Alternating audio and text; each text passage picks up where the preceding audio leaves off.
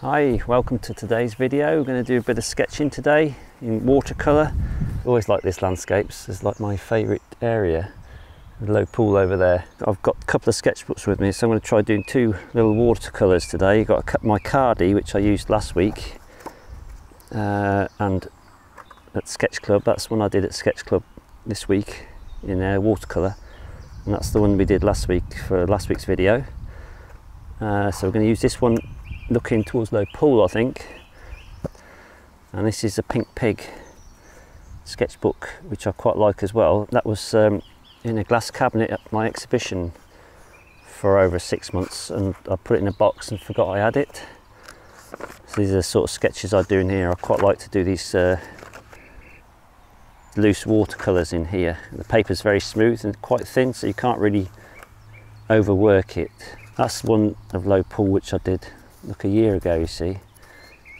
And this is one I did in at Sketch Club the other day with some uh, black watercolour and a pencil so we're going to do the view over there in the pink pig. Let's see what I make of it. Okay, Basil's here enjoying himself as well, pottering around and lazing in the sun. Don't blame him.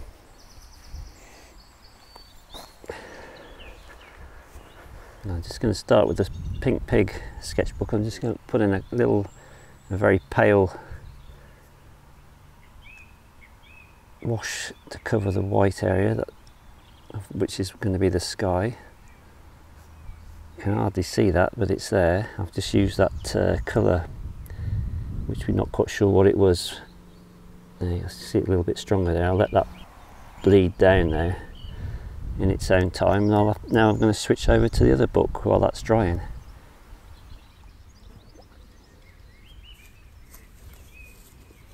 because the sky's a bit bluer over there, I'm going to take a mixture of these two.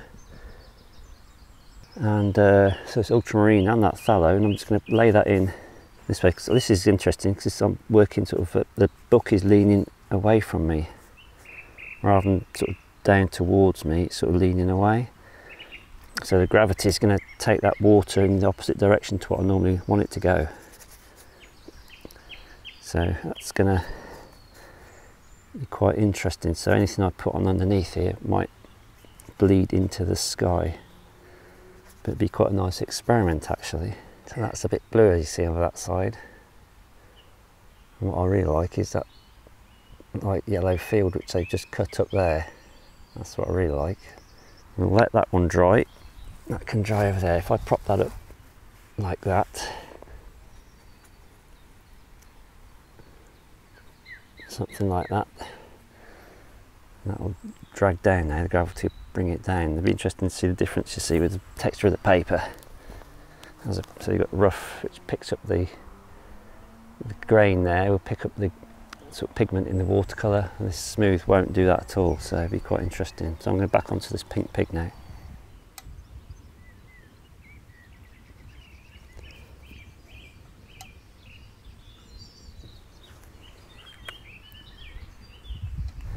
So here I've just uh, laid in a quick area to represent that area of trees and the hedge going across there and that, that gap over there which I quite like. So that's I've just laid that in with the sockets lemon yellow and this colour here I'm not quite sure what it is. It's a black type of black. Yes basil so I've laid that in with the lemon yellow and the black, mixed up this dull sort of green here, laid that in and where I wanted it to be a bit brighter, I just put neat lemon yellow from there over the top with a flat brush and just let it bleed with the water and I'll let that dry. It's drying really nicely today so this will be really good fun. Now it's back over to the Khadi. The Khadi because it's a lot drier the paper. I'm going to lay these greens in exactly the same. So we use lemon yellow and the black. I'm just going to look at the scene there. And there's Basil just sunning himself now. He keeps going in and out of the shade. So we're going to do just lay in some gre greens now to give us an overall picture. I've just got to leave a little space for Loe Pool which I want to I think I'm going to carry over there. So if I say that's Loe Pool in there That means I can go up into the sky a bit more there. So this, see how the pa this paper is a lot drier.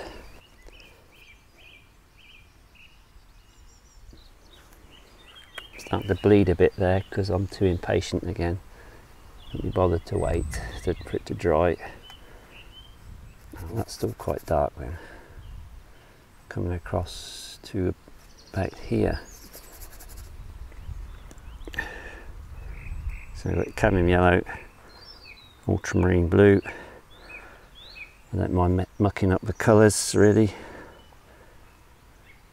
Bring that down like that. And we know that's all that's all the shadow area.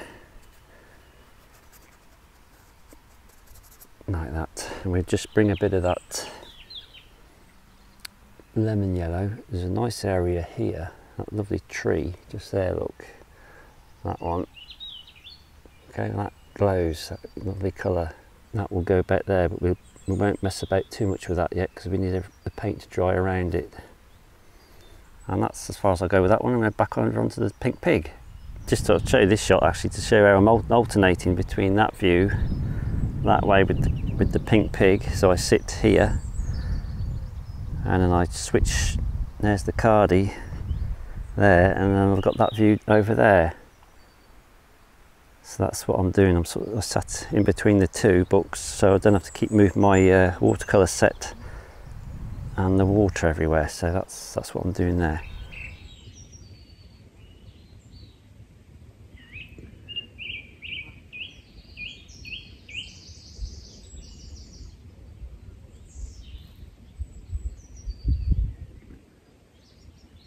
I've just put in some cooler, more shadow areas now. Well, this is all dried. Well, I'm waiting for this section to dry here. You can see it's actually very wet still down there. So that's drying and I've just made sure I've not gone too close to bleed so it doesn't bleed in.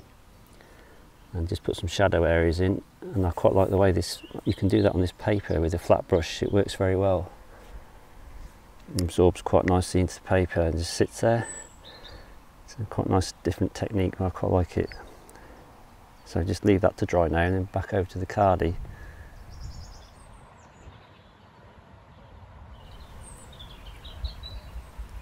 I think I'm going to lay in this a bit darker here so I can see the darkness in here and then I can just I know how dark to go with the other areas of the painting then.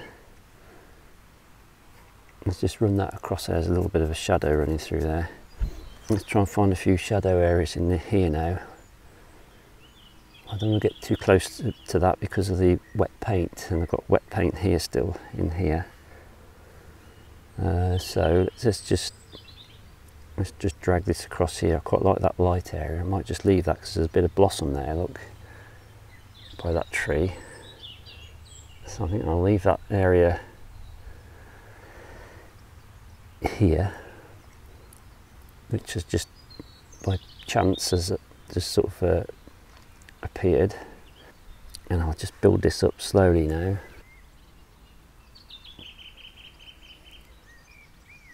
I've just been building up some of these uh, shapes of these fields and tree patterns and approximate colours. They're not, not very accurate, to be honest, but it doesn't matter, I'm having fun.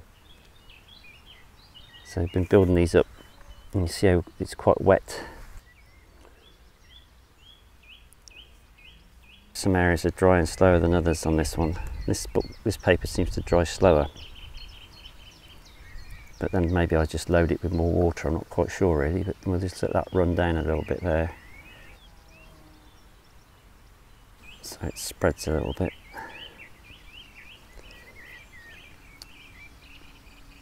But uh, yeah, I'll leave that to dry off a little bit and then we'll start adding some more uh, field shapes and patterns and some of the hedgerows in.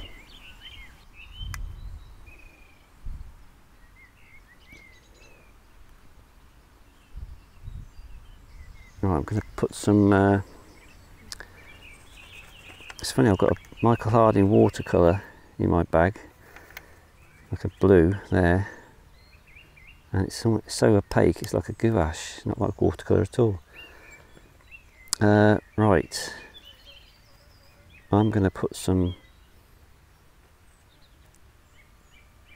harder sort of more harsher darks in this foreground here now because it's not dark enough. Something like that's better. Let's really get something quite strong in there.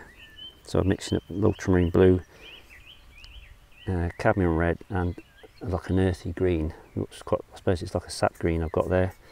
Not quite sure what it is, but it does the job. And I just want to brush that into these areas here. Let's make that even redder in here. So that'll just that'll be a nice sort of dark foreground area then. And we just dry brush, dry brush a few areas up there, and then put some water on. Oh, that might, a few splats, why not? Let's have a bit of fun with that. Let's just leave that to dry a minute and then we'll continue with the uh, these other areas which I quite liked. It's better. Lie down there. Let's continue with this one. I quite like the simplicity of it actually, so I'm not going to do too much more on this one. What I will do, I'd just like to get some of these uh, brighter yellow greens in these trees and as well in here. So I'm going to use that very bright lemon yellow type colour in here.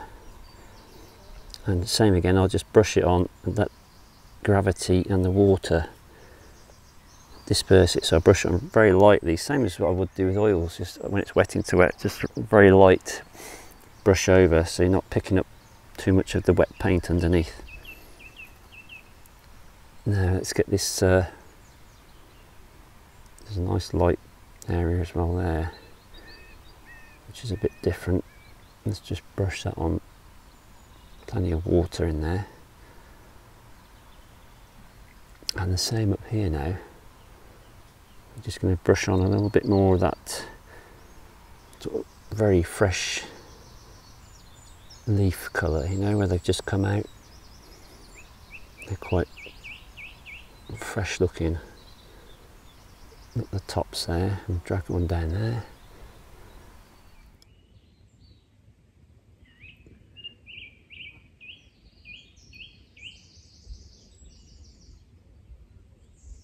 Well, that was good fun. I think I've finished this one now. I think I can't really go any further than this. I'll just put a few uh, fields in with the small, very small brush, that little uh, little brush here. And then uh, I've got a watercolour pencil which I've just scratched through a few lines here, like that, to indicate some of these uh, brambles and things that come through. But I don't want to put too many of those in. And the main thing is that what I really liked was that field here and that bright tree here. And although the colours I've got aren't accurate because the, I'm using this what I've got here in this half pan Winsor and Newton set which I've had for many years. I bought that back in 1992 when I went to college. And I still got it now but I've added more watercolours in. Anyway I digress. Uh, what was I saying? Uh, yeah I think it's finished Colours aren't accurate, but I don't care because I like it. It was good fun.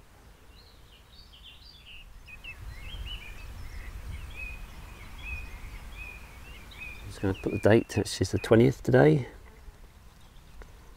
And I think weather like this is made for watercolour, isn't it?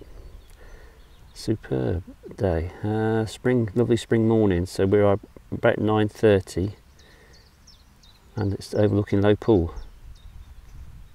which if you've seen my videos uh, before you would be pretty familiar with by now even if you don't live here. Anyway that's that one I'm just going to have a quick look at the pink pig and see if that needs any more work. Okay so here's the pink pig this is what we've got to so far let's move that up there so you don't have the blades of grass shadows in the way. So that's very a lot more abstract at this point. I quite like it actually so all I've got to do now I think is just put some uh, shadow in those areas there look just under these trees. So I'm going to do that now.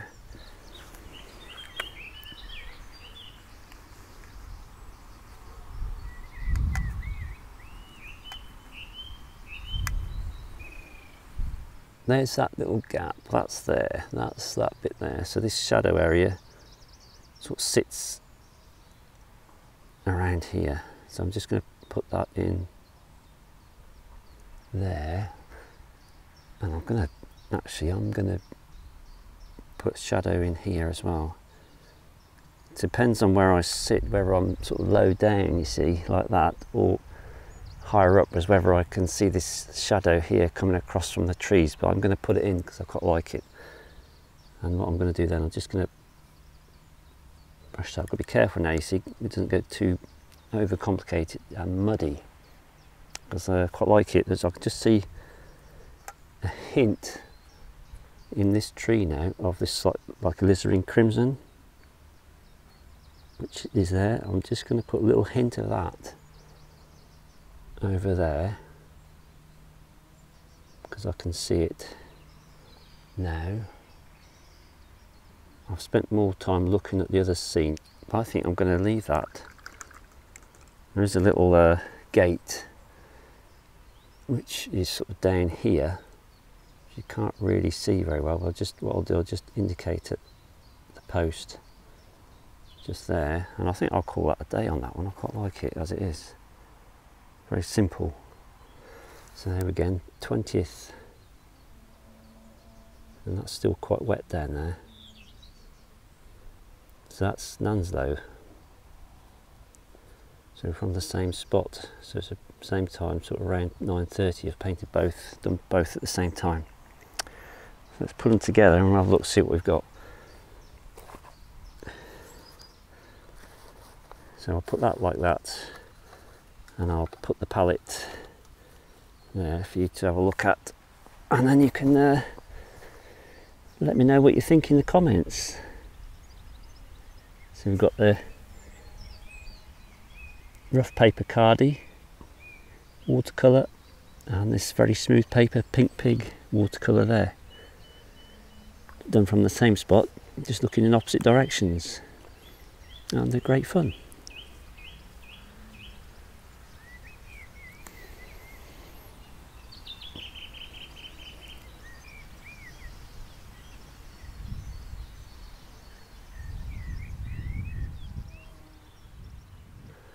Well that's today's uh, couple of sketches we've just done there.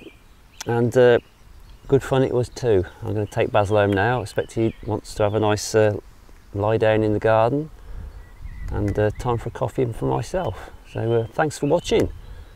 Hope you enjoyed it and uh, bye for now. See you next time. If I can get up again